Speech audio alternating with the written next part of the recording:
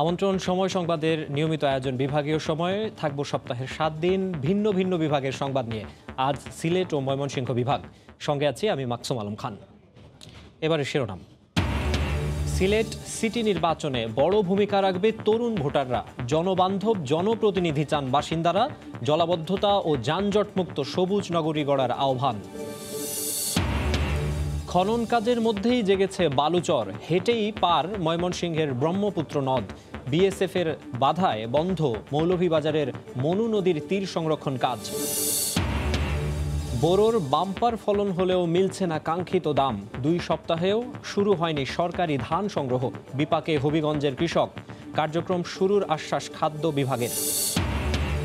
এবং কোরবানির আগে পশু ব্যবসায়ীদের দুশ্চিন্তা লাম্পি স্কিন ডিজিজে শেরপুরে এক সপ্তাহে বিশটি গরুর মৃত্যু। চিকিৎসকের সহায়তা না পেয়ে ক্ষুব্ধ খামারিরা।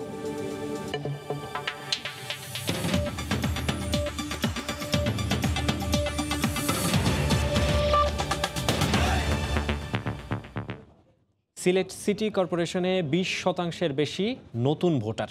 এবারে নির্বাচনে বড় ভূমিকা রাখবেন এই তরুণ ভোটাররাই। জলাবদ্ধতা ও যানজটমুক্ত নগরী গড়ার পাশাপাশি কর্মক্ষম যুব সমাজ ও নগরীতে নারী বান্ধব পরিবেশ চান তারা। শাহ শরীফুদ্দিনের প্রতিবেদনে ছবি তুলেছেন নওশদ আহমেদ চৌধুরী। সিলেট সিটি কর্পোরেশন নির্বাচন। এবারের নির্বাচনের হিসাবটা একটু ভিন্ন। বর্ধিত সিলেট সিটি কর্পোরেশনে ওয়ার্ড সংখ্যা যেমন বেড়েছে, তেমনই বেড়েছে মানুষের প্রত্যাশাও। ভোটার তালিকায় যুক্ত হয়েছেন নতুন অনেক ভোটার। তরুণ প্রজন্মের এসব ভোটারদের মাঝে এবার আলোচনায় যত্রতত্র গাড়ি পার্কিং বন্ধ। একসময় সিলেটকে সবুজ নগরী বলা হলেও গেল কয়েক বছরে কাটা পড়েছে সাত শতাধিক বড় গাছ। তাই তরুণ প্রজন্মের ভোটারদের ভাবনায় প্রাধান্য পাচ্ছে সবুজায়নও। এছাড়া জলাবদ্ধতা ও যানজটমুক্ত নগরীও দেখতে চান তারা। যুব সমাজকে কর্মক্ষম করে তোলা ও নারীবন্ধব পরিবেশ তৈরিতে ভূমিকা রাখবেন এমন নগর পিতাও চান নতুন ভোটাররা। মূল সমস্যা হচ্ছে জলাবদ্ধতা এবং যানজটের। এই দুইটা থেকে যিনি আমাদেরকে মুক্তি দিবেন আমি তাকেই ভোট দেব। নারীদেরকে সর্ব কাজে সর্বক্ষেত্রে অগ্রাধিকার একটা স্থাপন করার সুযোগ দিবে। সেই ধরনের মেয়রই আস- আসলে আমি চাই। মেয়র প্রতিশ্রুতি দিবে যে আমাদের শহরটাকে পরিষ্কার রাখবে পরিচ্ছন্ন রাখবে আমাদের শহরে যাতে কোনো ধরনের এই ময়লা আবর্জনা না থাকে। বিয়াল্লিশটি সাধারণ ওয়ার্ড নিয়ে গঠিত সিলেট সিটি কর্পোরেশনের ভোটার সংখ্যা চার লাখ সাতাশি হাজার সাতশত তিপ্পান্ন জন যা আগে ছিল তিন লাখ একুশ হাজার। সে হিসেবে এবার ভোটার সংখ্যা বেড়েছে প্রায় একান্ন শতাংশ, আর ভোটার সংখ্যার প্রায় বিশ শতাংশই নবীন। শাহ শরীফ উদ্দিন, সময় সংবাদ, সিলেট। খনন কাজ প্রায় শেষ হলেও হারিয়েছে নাব্য। বিভিন্ন স্থানে চর জেগে ওঠায় হেঁটেই পার হওয়া যাচ্ছে ব্রহ্মপুত্র নদ। ড্রেজিংয়ের বালু নদের পাশে রাখায় বৃষ্টিতে আবারও পানিতে মিশেছে বলে জানায় স্থানীয়রা। নদের উৎসমুখ খনন করে নাব্য বাড়ানোর আশ্বাস সংশ্লিষ্ট কর্তৃপক্ষের। হোসেন আলীর ছবিতে জগলুল পাশা রুশোর রিপোর্ট। অনেকটা পানিশূন্য এখন ব্রহ্মপুত্র নদ। খনন কাজের মধ্যেও জেগেছে বালুচর। ব্রহ্মপুত্র নদকে বাঁচাতে দুই হাজার আঠারো সালে দুই হাজার সাতশো তেষট্টি কোটি টাকা ব্যয়ে পাঁচ বছর মেয়াদি খনন কাজের শেষ হয়েছে চার বছর। স্থানীয়রা জানান ড্রেজিংয়ের পর বালু নদের পাশে রাখায় বৃষ্টিতে আবারও পানিতে মিশছে। এ কারণে খনন করা অংশে আবারও জেগে উঠেছে বালুচর প্রথম দিকে পানির প্রবাহ বাড়লেও এখন আবার কমে গেছে। পায়ে হেঁটেই পার হওয়া যাচ্ছে নদ। মাটি কাটতে পারে না সুন্দর করে কাটতে পারে না এই দিক দিয়ে চর পড়ছে সেই দিক দিয়ে চর পড়ছে। অনেক মাছ আছে অন্তর্গাঙ্গ পানি নাই হুন্না হয়ে গেছে মাছ পাওয়া যায় না। নদী দিয়ে হাইটে পারেন যে আগে তো পারেন যেত না। অন নৌকা আটকা পারে অন পোলা পান পিচ্ছি পিচ্ছি পোলা পান হাইটটা পারে যায়। এই ডেসিনে কোনো লাভ হয় নাই। যে আমরা কৃষি কাজ করে খাইতাম এটি আরও মনে করেন যে আপনার বাইঙ্গা নদীতে ভরতাছে নিয়মিত ড্রেজিং প্রক্রিয়া অব্যাহত রাখার কথা জানিয়েছে পানি উন্নয়ন বোর্ড। আর উচ্চমুখ খনন করতে বিদেশি কোম্পানির সাথে চুক্তির কথা জানান নৌপরিবহন প্রতিমন্ত্রী। নেদারল্যান্ড ভিত্তিক একটি কোম্পানির সঙ্গে আমরা চুক্তিবদ্ধ হয়েছি। তারা এটা স্টাডি করছে কীভাবে এই লকটা খুলে দেওয়া যায়। লকটা খুলে দিতে পারলে পানির প্রবাহটা আসবে। টাইম টু টাইম ড্রেজিং করে নদীর এই না- পলি জমাটা বা নাব্যতা কমে আসার প্রসেসটা যদি আমরা ঠিক মেনটেন রাখতে পারি তাহলে নদী তার আগের অবস্থায় ফিরে আসবে। প্রকল্পের আওতায় জামালপুরে ব্রহ্মপুত্রের উৎসমুখ থেকে গাজীপুরের টোক পর্যন্ত দুইশো সাতাশ কিলোমিটার নদ খনন করা হচ্ছে তিনশো ফুট প্রস্থ ও দশ ফুট গভীর করে। ব্রহ্মপুত্র নদকে বাঁচাতে দুই হাজার আঠারো সালে দুই হাজার সাতশো তেষট্টি কোটি টাকা ব্যয়ে পাঁচ বছর মেয়াদী খনন প্রকল্প হাতে নেয় সরকার। সেই প্রকল্পের মেয়াদের আর কয়েক মাস বাকি থাকলেও নদের নাব্যতা পরিস্থিতির কোনো উন্নতি পরিলক্ষিত হয়নি। তাই তো কোটি কোটি টাকা খরচ করে খনন কাজে কার্যকারিতা ও তদারকি নিয়ে প্রশ্ন উঠেছে সচেতন মহলে। জগলুল পাশা রুশো, সময় সংবাদ, ময়মনসিংহ। বিএসএফ এর বাধায় চারটি স্থানে প্রায় ষোলো মাস ধরে বন্ধ মনু নদীর তীর সংরক্ষণ কাজ। পাহাড়ি ঢলে বন্যা ও ভাঙন আতঙ্কে মৌলভীবাজার সীমান্তের মানুষ। একাধিকবার যোগাযোগ করেও সমাধান পায়নি পানি উন্নয়ন বোর্ড। শাহ ওলিদুর রহমানের পাঠানো তথ্য, মোহাম্মদ ইয়ারুব আহমেদের ছবিতে রিপোর্ট। দুই হাজার আঠারো সালে মৌলভীবাজারের কুলাউড়ার শরীফপুর ইউনিয়নে ভারতের ত্রিপুরা থেকে নেমে আসা পাহাড়ি ঢলে ক্ষতিগ্রস্ত হয় মনু নদীর বন্যা প্রতিরক্ষা বাঁধের একাধিক স্থান। এরপর থেকে বন্যা ও নদী ভাঙনের আতঙ্ক নিয়ে বাস করছেন সীমান্তবর্তী এলাকার মানুষ। আঠারো বন্যার পর তাকি যে একটা আতঙ্কর মাঝে আছি গাট্টি গুটি লইয়া রাস্তা তুটা লাগে। সরকারের কই আমরা ওটা যদি বান্ধ তা আমরা এলাকার মানুষ কিন্তু বাঁচমু ভাঙন থেকে রক্ষায় দুই হাজার একুশ সালে স্থায়ীভাবে নদীর তীর সংরক্ষণে প্রকল্প নেয় পানি উন্নয়ন বোর্ড। কাজ দেয়া হয় ঢাকার ঠিকাদারি প্রতিষ্ঠান মেসার্স হাসান অ্যান্ড ব্রাদার্সকে। ঠিকাদারি প্রতিষ্ঠানের অভিযোগ, দুই হাজার বাইশ সালের জানুয়ারিতে নদীতে জিও ব্যাগ ফেলতে চাইলে কাজে বাধা দেয় ভারতীয় সীমান্তরক্ষী বাহিনী। পরে টানা এক বছর চার মাসেও শুরু করা যায়নি কাজ। এতে আগামী বর্ষায় নদী ভাঙন আতঙ্কে স্থানীয়রা। বিলীন হওয়ার হুমকিতে চাতলা ইমিগ্রেশন চেকপোস্টটি আর আমরা কাজে কামে কোনো করতে গেলেই ইন্ডিয়া বাধা দেয় কাজ করিও না। তখন আমাদের কন্ট্রাক্টর মন্ডাক্টর ওগুলো মাল মালামাল ফালাইয়া তারা চলে যায়। একটা বৈঠক বইয়া পাথর বা ব্লকের ব্যবস্থা করে দেয় তো এইখানে আট দশটা গ্রামের আমরা সুবিধা হয়? যখন আমরা ডাম্পিং করে যাচ্ছি তখন হলো বিএসএফ বাধা দিচ্ছে। এখানে কোনোভাবেই কাজ করতে দিচ্ছে না। আমাদের কোম্পানি এবং আমাদের লোকজন এক বছর সকল স্টাফ এক বছর যাবত বসা। এ বিষয়ে একাধিকবার বিএসএফ এর সঙ্গে যোগাযোগ করেও মেলেনি সমাধান। নতুন করে আবারও যোগাযোগ করা হচ্ছে বলে জানিয়েছে পানি উন্নয়ন বোর্ড। ফেব্রুয়ারিতে একটি প্রস্তাবনা আবার প্রেরণ করি এবং মার্চে একটি ডিও পত্র যৌথ নদী কমিশনের মাধ্যমে দিল্লিতে প্রেরণ করা হয়। আমরা এই অনুমোদনের অপেক্ষায় আছি এবং ঠিকাদার প্রতিষ্ঠান ইতিমধ্যে যে সিসি ব্লক তৈরি করেছে, আমরা অনুমোদন পেলেই এই সিসি ব্লক এবং জিও ব্যাগ ডাম্পিং করে এখানে নদী ভাঙন লাঘব করা সম্ভব হবে। মনু নদীর বন্যা ও ভাঙন থেকে জেলার কুলাউড়া রাজনগর ও সদর উপজেলায় নদীর তীর সংরক্ষণ প্রকল্পের ব্যয় ধরা হয়েছে নয়শো ছিয়ানব্বই কোটি আটাশ লাখ টাকা। সময় সংবাদ মৌলভীবাজার।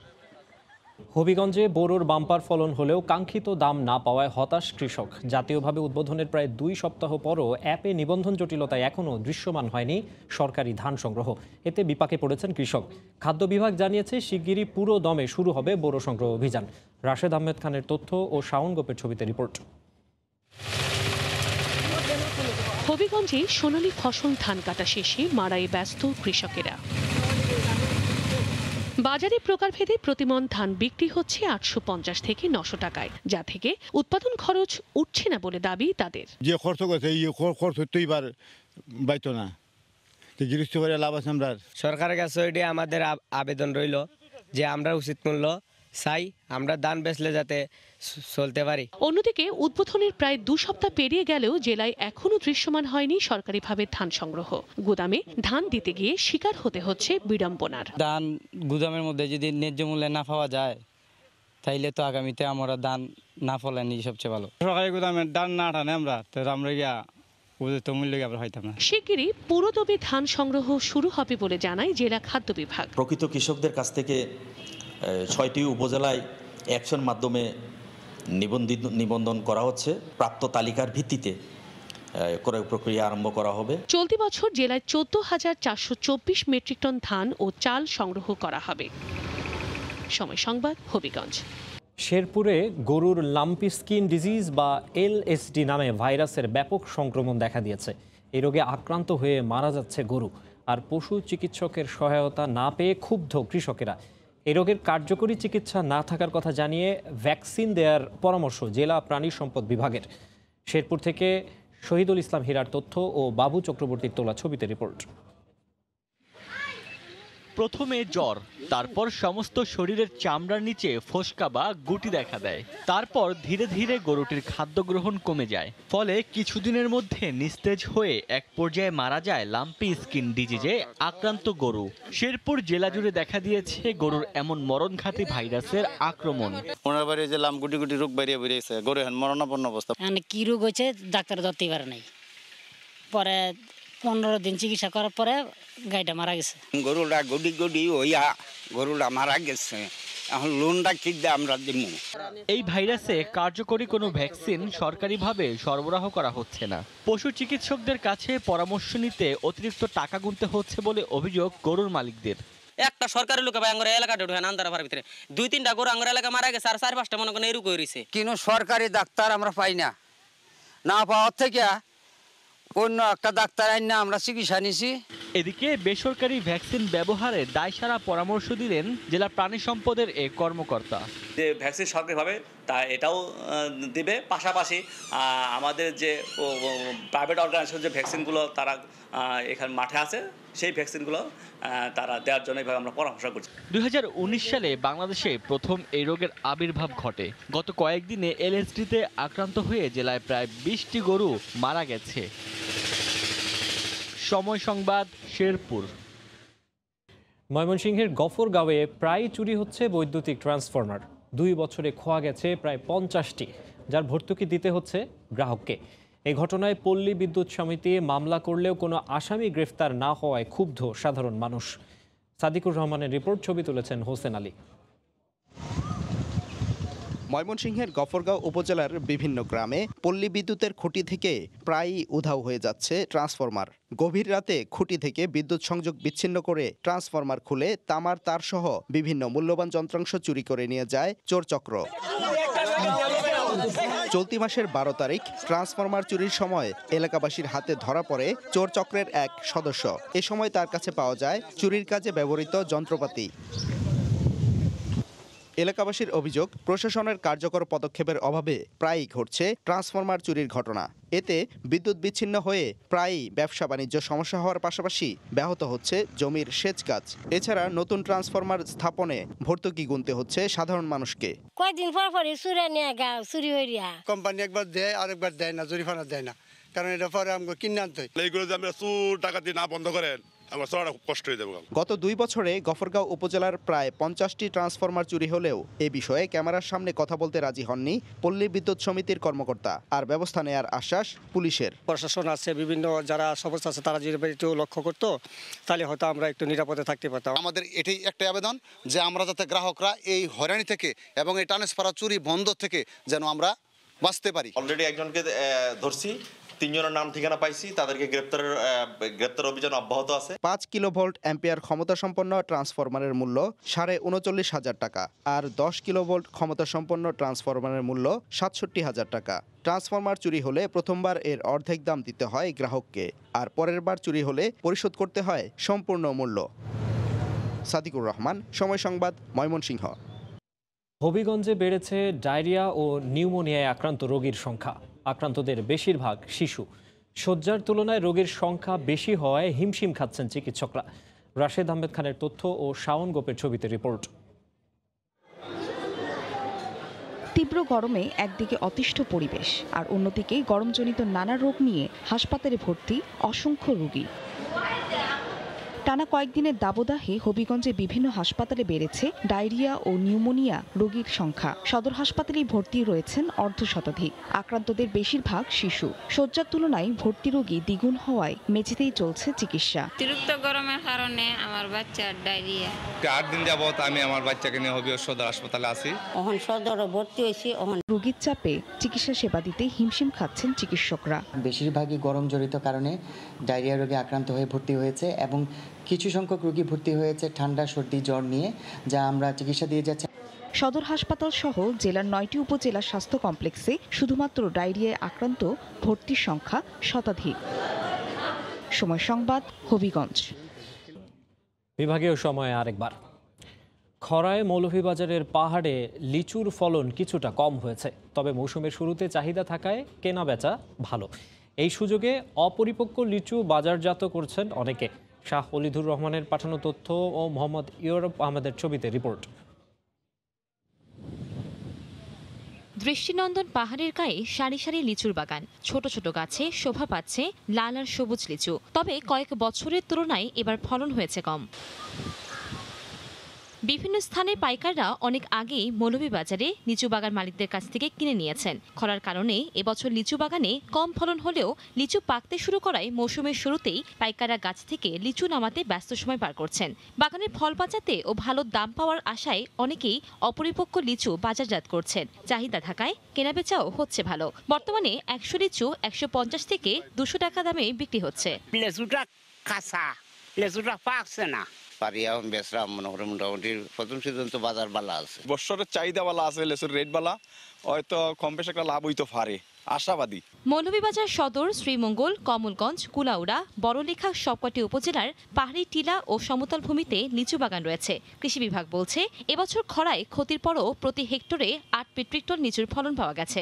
অপরিপক্ক হিসাবে বিক্রি করলে তারা বেশ লাভবান হবে তবে অপরিপক্ক অবস্থায় যদি বিক্রি করে তো বাজারে একটা এই লিচুর প্রতি একটু মানুষের টক যেহেতু হয় একটু বিরূপ প্রতিক্রিয়া আসতে পারে। কৃষি সম্প্রসারণ অধিদপ্তরের দেওয়া তথ্য মতে জেলার চুয়াত্তরটি বাগানের দুশো চুয়াল্লিশ হেক্টর জমিতে লিচুর চাষাবাদ হয়েছে আর উৎপাদন ধরা হয়েছে এক হাজার নশো বাউন্ন মেট্রিক টন। বিভাগীয় সময়ে আরেকবার। এবারে জেনে নেব সিলেট ও ময়মনসিংহ বিভাগের গত সপ্তাহের আলোচিত ঘটনা। সুনামগঞ্জে খাদ্যের ভেজাল ও দূষণ রোধে সম্প্রতি বিভিন্ন কার্যক্রম গ্রহণ করে সংশ্লিষ্ট বিভাগ। সতেরোই মে এ বিষয়ে জেলা প্রশাসনের সম্মেলন কক্ষে সরকারি সকল দফতরের সঙ্গে সেমিনারের আয়োজন করা হয়। এ সময় ভাজা পোড়া, কৃত্রিম লবণ ও রং মিশ্রিত খাবার এড়িয়ে যাওয়ার পরামর্শ দেন বিশেষজ্ঞরা।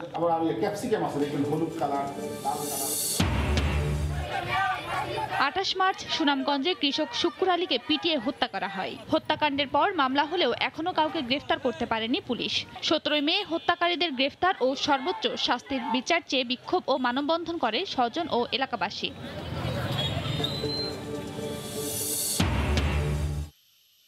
মৌলভীবাজারের লাওয়াছড়া বনে ঝড়ে উপড়ে পড়া গাছের সঙ্গে ধাক্কা লেগে উদয়ন এক্সপ্রেসের ইঞ্জিন ও দুটি বগি লাইনচ্যুত হয় বিশ মে। এতে সিলেটের সঙ্গে সারা দেশে রেল যোগাযোগ বিচ্ছিন্ন হয়ে পড়ে। তবে কেউ হতাহত হননি। খবর পেয়ে আখাউড়া থেকে উদ্ধারকারী ট্রেন গিয়ে প্রায় পনেরো ঘণ্টা চেষ্টার পর রেল যোগাযোগ স্বাভাবিক করে। বিভাগীয় সময়ের শীর্ষ সংবাদগুলো জানিয়ে দিচ্ছে আরেকবার। সিলেট সিটি নির্বাচনে বড় ভূমিকা রাখবে তরুণ ভোটাররা। জনবান্ধব, জনপ্রতিনিধি চান বাসিন্দারা। জলাবদ্ধতা ও যানজট মুক্ত সবুজ নগরী গড়ার আহ্বান। খনন কাজের মধ্যেই জেগেছে বালুচর। হেঁটেই পার ময়মনসিংহের ব্রহ্মপুত্র নদ। বিএসএফ এর বাধায় বন্ধ। মৌলভীবাজারের মনু নদীর তীর সংরক্ষণ কাজ।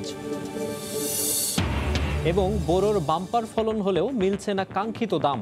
দুই সপ্তাহেও শুরু হয়নি সরকারি ধান সংগ্রহ, বিপাকে হবিগঞ্জের কৃষক। কার্যক্রম শুরুর আশ্বাস খাদ্য বিভাগের। এই ছিল বিভাগীয় সময়ে। আগামীকাল থাকব বরিশাল বিভাগের আয়োজন নিয়ে। সঙ্গেই থাকুন সময়ের।